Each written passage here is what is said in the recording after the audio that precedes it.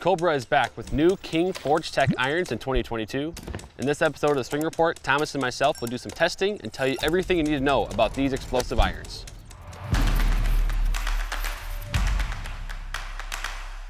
Hey golfers, Thomas and Drew back here on the driving range at Les Bolstad Golf Course with new irons for 2022 from Cobra, the Forged Tec and Forged Tec X irons, Thomas. Uh, very excited about those because, you know, the Forged Tec line, there's been, what, last, uh, every two years probably, the past several years, Cobra has released Forged Tec irons, and now the Forged Tec X is a new kind of addition to it as well. So uh, talk to me about what you see initially from these two models. Yeah, so first looking at the Forged Tec iron, looks a little sleek, sleeker mm -hmm. compared to the previous model. Yep. So it looks like it's a, you know maybe a little bit less offset, a little bit sleeker. You know, almost kind of looks like a player's iron. Yeah. It looks looks great. Um, Forged Tec X is a little bit larger. I'm seeing a little bit more. It seems like more weight kind of pushed back a little bit on this club. Um, I know the loft is a couple degrees stronger. I believe 27 degrees of loft mm -hmm. on the mm-hmm. Forged Tec X, 29 and a half on the Forged Tec. So I would expect the Forged Tec X to be pretty explosive. For sure, and they are. I mean, that, that power shell face that Cobra irons have had over the past few years has been very explosive. You've seen that in the fitting bays as well, that those distance numbers could really climb. Also, each has that hollow body design to really provide that extra pop as well. Um, but what I think is different about the two, and so you get that different amount of tungsten weighting, and that's where you see the difference between the Forged Tec X, which is going to be the more forgiving model, and the Forged Tec, uh, which is gonna be more of kind of a player's oriented model. So the Forged Tec X has 65 grams of tungsten weight, primarily heel and toe to provide that stability and then also increase that launch uh, for those players that maybe need help with that. Whereas it's only 20 grams in the Forged Tec. So again, a little bit more oriented towards workability and uh, maybe chasing a lower ball flight there with that one. Yeah, it comes down to where you put the weight. More weight's gonna create more stability. Mm -hmm. So more straighter shots with the Forged Tec X. Um, 20 grams is not, is not as much as 65, so you're able to then work that club face a little bit easier. As I mentioned, the Forged Tec looks a little bit more like a sleeker player's iron. Mm -hmm. Yeah, and then you also get kind of better feel maybe too um, with that lower amount of tungsten weighting in that Forged Tec with that forged 1025 carbon steel body too as well. So uh, there's a lot to like about these irons, Thomas. Uh, and so kind of talk to me about the testing portion today, what we'll do here because I know we're gonna hit some shots and then kind of come back and review some of that data. But I know you also wanted to maybe compare to your gamer. Yeah, I mean, I always like putting my gamer in there. Just I'm always intrigued with loft. You know, my seven irons got 34 degrees of loft on it. It's kind of that standard industry. Over time, I guess yeah. the lofts get a little bit stronger. But you just you know talking about 27 to 34, that's seven degrees. Mm -hmm. So we're going to talk about the differences and why a player would want the Forged Tec X or the Forged Tec, mm -hmm. or maybe why a golfer would maybe need a little bit more loft on the club. And it's going to come down to spin and the height and how much speed they can create. Sure. Well, we've got the TrackMan out here. We're ready to go, and let's hit some shots. All right.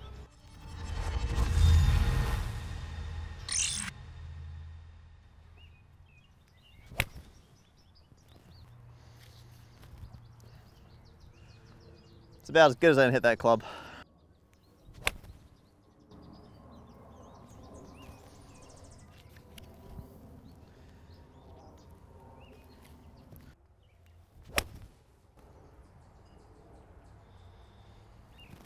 Well, sounded good.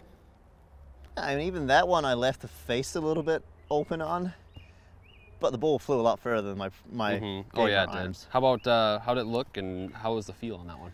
Yeah, so looking down at it, uh, the top line just a little bit larger than what, you know, my clubs are almost right. blades looking down at. So a little bit larger, a little bit larger heel to toe. It, it fits into that player's distance iron category yeah, for sure. for sure. Yeah. Felt pretty good. I mean, it definitely felt more explosive. I knew as soon as I hit it, the ball was going oh, further. Yeah. Mm -hmm. yeah. And I mean, it didn't feel like it's gamey either. Yeah. I mean, it, it still felt like it was pretty forged off the face. Yeah.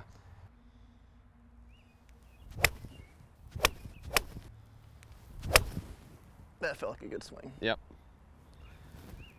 That seems more representative of what I would feel like I would hit this club. Yeah.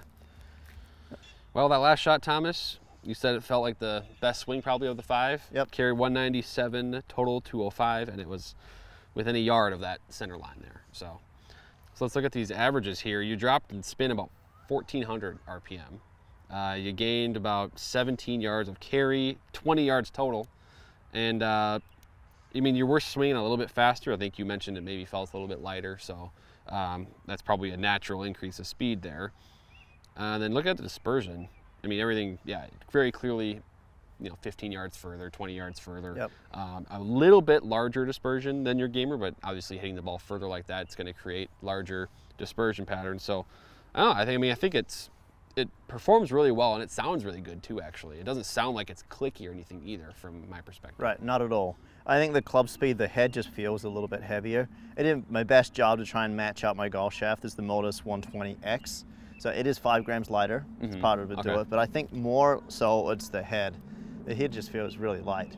Even the first couple of swings, I tried to kind of match my speed up with what I'm doing with my irons. Yeah. I even tried to slow it down to match it, but just you'll notice that, yeah, it, a lighter club head is going to generate a little bit more club speed. So that's why I'd revert back to that smash factor number. Mhm. So we know that efficiency number is a good way to talk about the differences in, say, a 34 degree seven iron and a 29 and a half degree Right, seven iron. and so your smash went from 140 to 142. So Okay. 142 with the gamer. So you increased your Yep. efficiency. A lot of that due to the loft there, I imagine, uh, hitting a stronger lofted club. And then we can also talk about things like uh, launch angle. So launch angle went down 1.3 degrees, and the dynamic loft also went down from 22.9 to 20.3. So Yep. just showing less lofted impact. I mean, that's going to happen Right. with a lower lofted club. But uh, curious now on the next club here. Also, for what it's worth, you averaged zero feet of curve with the Forged Tec. You had a couple went right, a couple went left, Yeah. but averaged zero, which is kind of fun. Uh, but Forged Tec X now, what do you expect to see difference uh, or a difference between you know Forged Tec, Forged Tec X now that um, you've hit this one? Well, I'm curious to see the bull flight because I know 27 degrees aloft versus 29 and a half is naturally, it should go further, it should spin a little bit less yet. So we talked about 1400 RPMs less than my seven iron, maybe another 500 RPMs less. Which Go- would get even a little- would probably get a little dangerous there for Yeah. you anyway. Right, so it's going to type you are. depend on the player's attack angle, whether they need Yeah. to reduce spin or they're, you know, what height they're hitting the club at. Sure. If they're not hitting it high enough, it's going to come in pretty low to the green. Right. So let's uh, let's see what it does here and see if what the stopping power is like. Okay. Definitely. A clickier type of sound to that one. Yeah, definitely a little louder. How about the feel on that one? Yeah, it, it felt harsher on the hands. Yeah. Not not terrible, but it definitely you know didn't feel like it was as forged feeling on Mhm. the face. Sure.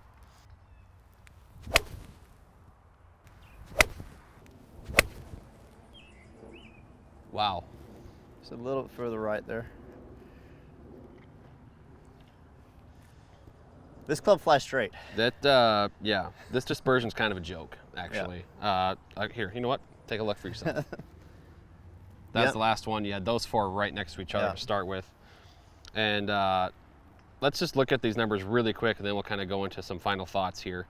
Um, our club speed average 93.1 there, so still a little bit faster yet. Um, but regardless, you generated another 12 yards of carry. So you're actually carrying the ball on average 204.2 with a seven iron there, which I know isn't for you what you need. But the player that comes down really steep or the player that doesn't maybe swing super fast could really benefit from a club like that that can really launch that ball out there. And we also saw that thing still, you know, the concern with like loft jacking and things like that is that it doesn't quite get high enough. That was the highest height for a shot that you got today. And the launch also kept, you know, was really consistent there. Launch angle was actually higher than the Forged Tec by 0.2 degrees. So There we go. Comes down to the tungsten placement. Yeah. It's going to help get the ball up in the air, Mhm. lower, um, forgiving, flew Yep. basically straight. I couldn't believe how straight Right. that club was. Right. I mean, you had. Let's. I'm actually going to look at this because your ball. Yeah, you never curved the ball more than 20 feet with any of those five shots. And we're talking about shots that were hit at 210 plus in distance, and they never curved more than 20 feet. You had your first two shots were four and two feet, by the way. Then it was 13, 16, 19. Yeah. So that's pretty good. You're hitting the the club is designed to hit the ball straight and far. I mean, that's it's pretty simple. That's where a lot of clubs in that category are. But we saw the results in this test. That's pretty uh, clear cut.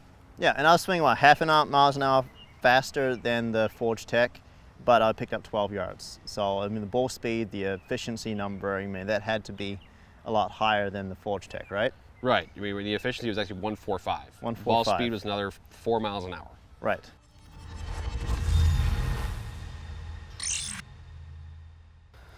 Well, Thomas, I think we completed some very successful testing here, and we, you know, we, I think we had some kind of hopes for what these irons would show in the testing. I think they delivered. Uh, you know, the Cobra King Forged Tec really, I mean, a premier player's distance iron. Really, it has the the feel that you're looking for, also the distance, and I mean, it's it's not going to fly offline a ton either.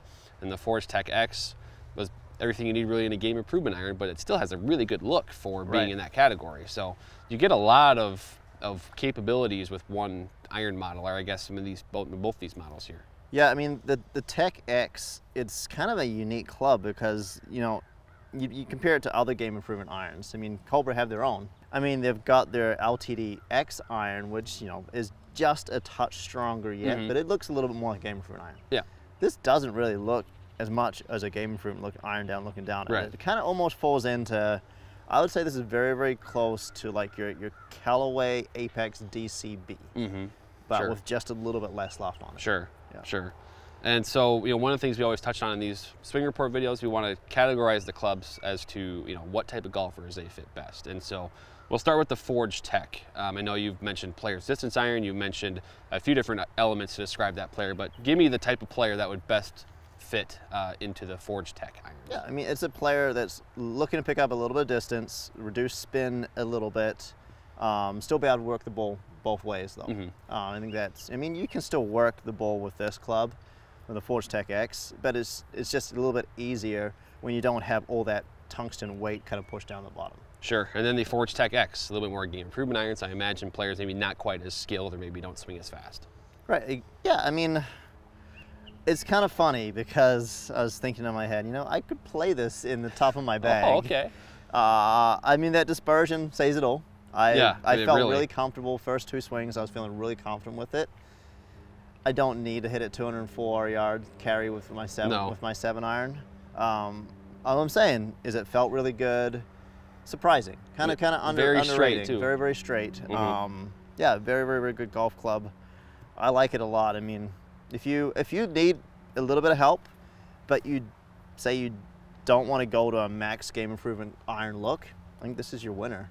Sure, sure, for sure. Well, Thomas, thanks for doing the testing today. Uh, we actually got some raindrops coming down now, so we got to wrap up here. But uh, golfers, if you're interested in the Cobra Forged Tec or Forged Tec X irons, you know what to do. You can visit secondswing.com, or you can schedule a fitting online, uh, or talk to one of our store members, our store team members, excuse me, and they'll help you get set up with Cobra King Forged Tec or Forged Tec X irons. Thomas, thanks again. Not a problem.